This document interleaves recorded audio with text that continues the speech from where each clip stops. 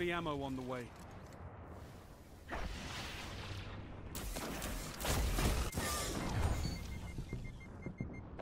Heavy ammo available.